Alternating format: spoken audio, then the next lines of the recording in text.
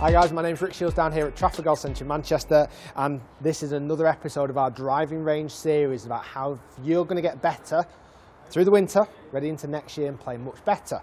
And this is one of my most favourite drills ever.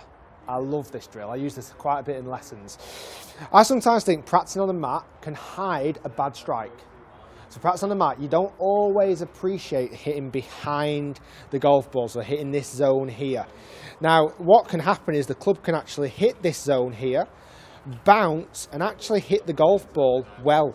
It can, you can actually make contact to the ball without really knowing that you've hit it incorrectly, let's say. So I, will see that sometimes. So this, this to me is a drill that you should practice probably every practice session just to remind your swing to where it should be hitting.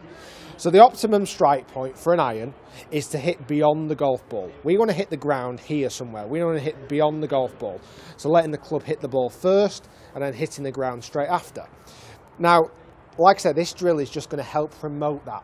And for me, it helps promote the movement to the left coming through the ball and helps us move the bottom of our golf swing to the left to help you strike the ball better.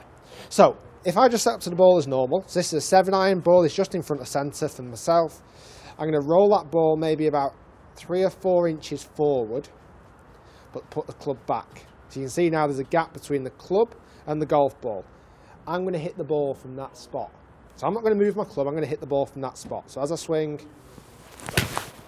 it's encouraging me to move my weight to the left, move my body weight closer to the target and strike beyond where the club started from.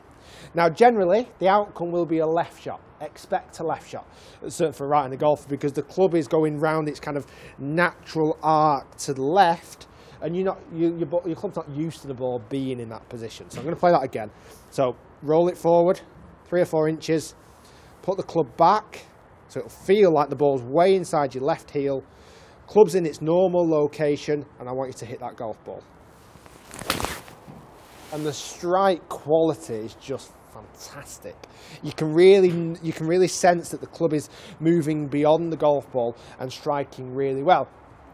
Then you can advance it back to setting up normally. So I'm going to use a probably a broken tee peg. I'm going to just use a little broken tee peg that I'm going to put forward.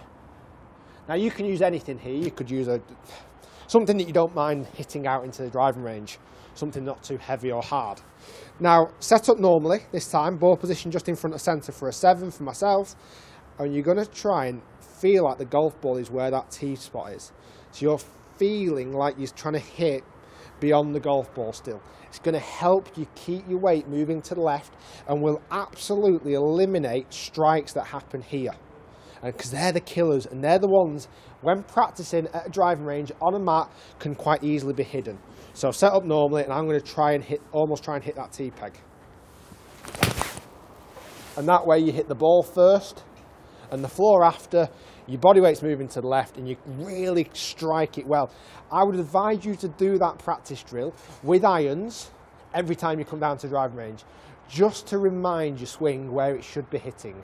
And it's a fantastic way of making sure that you strike the ball first, the floor after, and don't fall into the trap of hitting the ground first when practicing off a mat. Guys, thank you very much for watching. If you've enjoyed the video, please do give it a thumbs up. Check out all my other driving range series videos to help you improve over the winter. Look forward to seeing you next time. Comment down below, like the video, and that's hitting beyond the golf ball to improve your strike connection. Thanks for watching, guys.